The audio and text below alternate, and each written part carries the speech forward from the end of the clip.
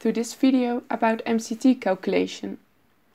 At the end of this video you will know all the basic metrics of MCT and how to calculate them.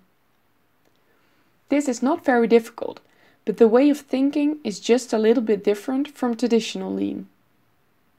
Therefore, we start with explaining the calculation in calendar time. We will also discuss an MCT-based metric that helps to motivate MCT reduction, known as the QRM number. Thereafter, we delve into the calculation of the gray space. This becomes more difficult when there is, for example, simultaneous labor input. Therefore, we will also learn how to deal with this. Finally, we introduce a tool that assists MCT calculation called Little's Law. So, we start with the calculation of calendar time. Customers view delivery in terms of a calendar date. For this reason, MCT should also be measured in real time and not in working time. However, it could be possible that you collect your data based on working time. If this is the case, you should convert this data into calendar time first. There is a simple rule that you can use. Your MCT portion is the raw data hours times 7, these are the weekdays, so your real time, divided by the weekly working hours. To give an example, if data collection shows you that the working time is 8 hours and the machine works 40 hours per week, you can use these numbers to fill the formula. Then, the gray space for this operation would be 8 times 7 divided by 40 is 1.4 days. Then we go to the next measure that makes use of a formula, and this is the QRM number. The QRM number is an MCT-based metric that helps to motivate MCT reduction in the organization. The QRM number is defined as follows. 100 times the base period MCT divided by the current period MCT. The base period MCT is the MCT you start with at the beginning of your improvement process. Before I give some examples, it is important to mention that the base period MCT is dependent on the goal of your project. When looking at an engineering change process, you could ask yourself the question if the clock starts ticking when a failure occurs in the field, or when the sales director makes a request at a meeting. In fact, there is no right answer. The answer must be sought out of the specific project. So, for example, if you start with a department which has an average MCT of 12 days, you could get the following progress.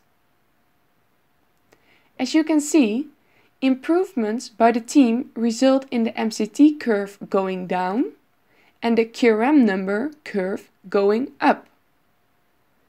The use of this QRM number has four advantages. First, as I just said, reducing MCT results in an increasing QRM number. In the science of performance measurement, it is well known that people react more positively to graphs going up than to graphs going down. Second, in the future, equal reductions in lead time result in larger increases of the QRM number. When looking at the table, if the team takes two days out of its MCT in the second period, they get 20 points. However, if they take two days out of its MCT in the third period, they get 30 points. So the QRM number rewards the team more when it becomes more difficult to squeeze out days at a later stadium of the improvement process. Third, as MCT reduction get increasingly difficult, the QRM number continues to motivate teams. And finally, the QRM number provides a single measure that can be used through the organization regardless the type of work. To explain this, I show you another example of MCT and QRM numbers which can be seen as the calculations of another department within the same organization. In the second department, MCT also decreases. However, based on the amount of days, you are not able to see which department did a better job. Therefore, you need to look at the QRM numbers. As you can see, the second department achieves a higher QRM number with less MCT reduction. The reason for this is their starting MCT of 8 days, which is of course less than 12 days and therefore influences the ratio. When we compare both departments, we could argue that in the end, Department 2 did a better job. Now it's time to explain how you should calculate the typical amount of gray space. Gray space illustrates the total time when someone is actually working on the order. An important rule here is that you only count the time needed to make one end item. So if parts are made in batches, you should not count the process time for the whole batch, but only for the process time related to one end item. Besides, the setup time for this particular item should also be included in the gray space.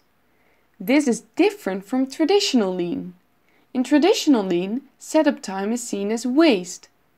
However, these actions are needed in the process and therefore seen as gray space within QRM. So, calculate the process time of one end item and the setup time as gray space and calculate the time it takes to process the rest of the batch as white space.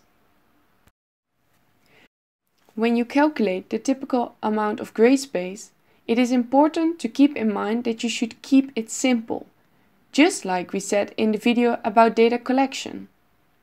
It is more important to quantify the white space than to try to classify the gray space in finer detail. For example, taking an average time of 30 minutes when you're doubting if an activity takes 15 or 45 minutes is just fine. Eventually, the percentage of white space and thus the opportunity becomes clear. Remember, if the amount of white space is approximately 85%, who cares about 2 or 3% more or less? Then, as I already said in the introduction, things becomes more difficult when people are simultaneously involved in a specific operation. For example, when four people are working in the assembly department and labor records indicate 40 hours of labor were used. You might think that the gray space would also be 40 hours. However, this is not true. Since people are working simultaneously, the job is done in less hours. To be precise, 10 hours if they would have worked exactly at the same moment. So, how should you calculate the gray space when you have simultaneous labor input? Again, the gray space should be calculated in calendar time. Therefore, we use the formula we introduced in the beginning of this video. MCT portion is the raw data hours times 7 divided by the weekly working hours. Imagine that four people working simultaneously at an assembly department. Let's say the working time for each person is 35 hours per week after taking into account breaks and lunches. And the total time of labor that were used is 20 hours.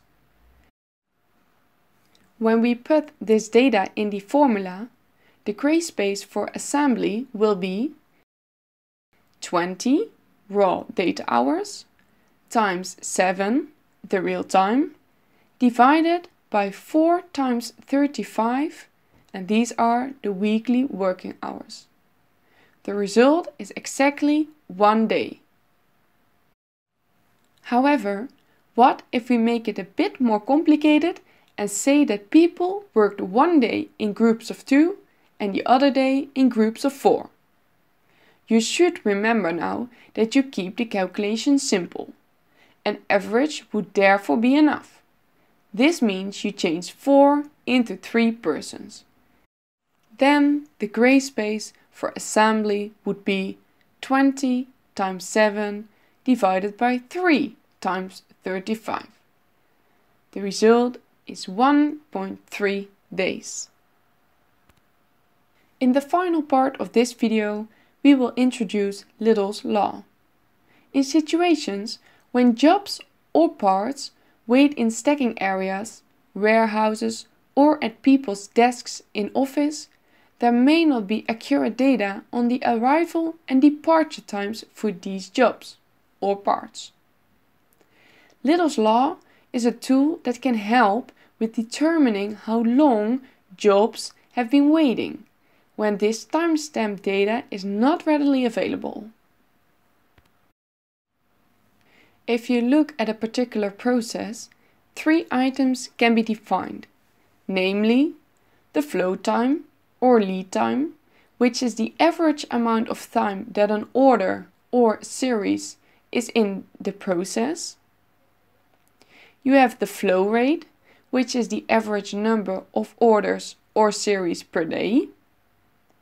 And you have the work in progress, which is the average number of orders or series in the process. Little's law states that flow time is the work in process divided by the flow rate. Knowing any two variables in the equation allows the calculation of the third. When a department can complete four orders a day, which is the flow rate, and there are in total 16 orders in the process, which is the work in progress, lead time will be 16 orders divided by 4 orders a day is 4 days. Next to Little's Law, you might remember that another tool that could help you are tagging sheets. Tagging sheets are introduced in the video about data collection. This brings us to the end of this video. In this video you have learned to calculate in calendar dates and to use the QRM number. You also learned how to calculate the gray space and how to do this with simultaneous labor inputs. Finally, you are introduced to Little's Law, which assists your MCT calculation.